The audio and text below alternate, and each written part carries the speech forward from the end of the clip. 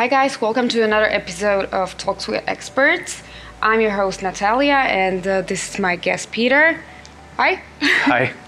Peter is uh, CTO in Pixel Federation, and today we're going to talk about technologies in Pixel Federation, mainly Flash Player, end of Flash Player, what are the alternatives, and the technologies in the mo- mobile gaming world. So, Peter, how are you today? Fine, thanks for having me. Thank you for coming.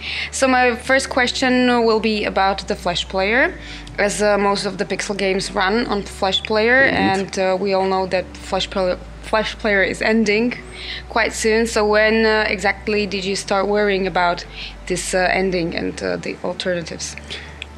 Yeah, it's ending for quite a while though. So uh, I actually got worried about Flash even before I started at Pixel back in 2010 when uh, Steve Jobs said his thoughts on Flash. It was a famous letter, and that was like the first. Uh, first question mark to the Flash future, uh, and uh, it was clear that uh, unless Apple changes their like standing on Flash, uh, Flash will no longer be a multi-platform solution. That's what Adobe planned with it.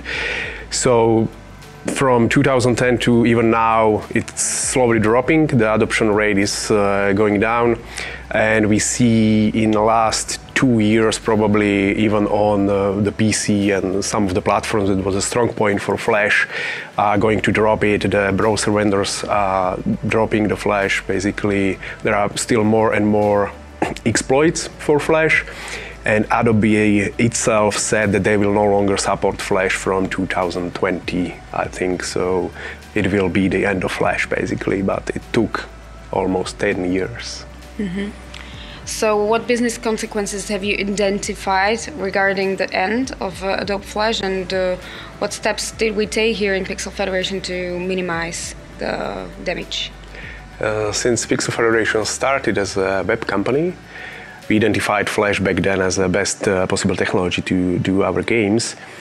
And now uh, we don't really want to explore web and the whole web uh, gaming community is declining. So we are switching to to mobile, but still, uh, since we don't want to lose our players on, on web, we try to fix the Flash issue by porting it to other standards that will like basically live longer than Flash.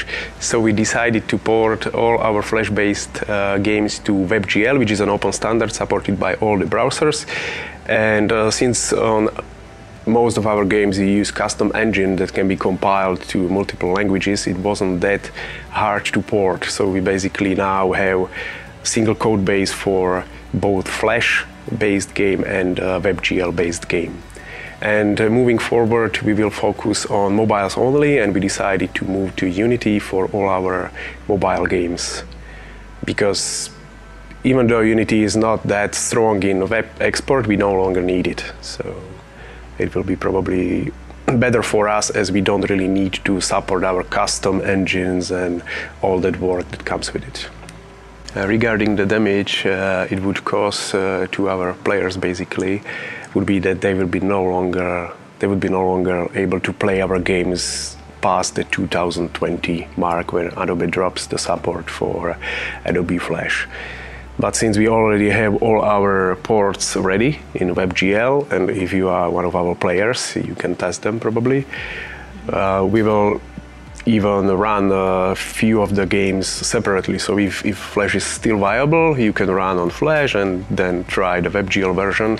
But since the Flash is going away, we will drop the support eventually and switch fully to the WebGL versions. And uh, besides Flash Player, what other technologies have we tried out in Pixel Federation so far? So we tried quite a few actually, because uh, like back two years ago we started with these uh, games that were focusing on different platforms, and we chose uh, even different technologies to build them up on. So we, we tried Morning Man with Unity for Steam. We tried Galactic Junk League again with uh, Unity for Steam. We, we did a VR-based game which used Unreal for Oculus. And lately, for example, we tried the Messenger games, which were purely JavaScript lightweight games for the Messenger platform. Since uh, now as a Pixel Federation we decided to focus on mobile games only, we are switching to Unity fully for Android and iOS games.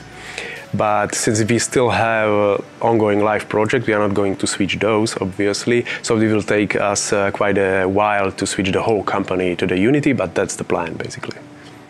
So when we were thinking about uh, what's uh, going to happen next after the Flash player, uh, were there some other alternatives besides WebGL, or what were we considering? Uh, basically, there weren't any alternatives uh, to WebGL. They were like Java, but Java died even before Flash. So the question was not uh, something different from WebGL, it was what to use to port the games to the WebGL. But as I mentioned, our uh, custom in-house engine supports export to WebGL, so it was no question for us. We could use, uh, for example, Unity to like com compile it to WebGL, but it would be a lot of additional work for us since we already have it in our custom engine.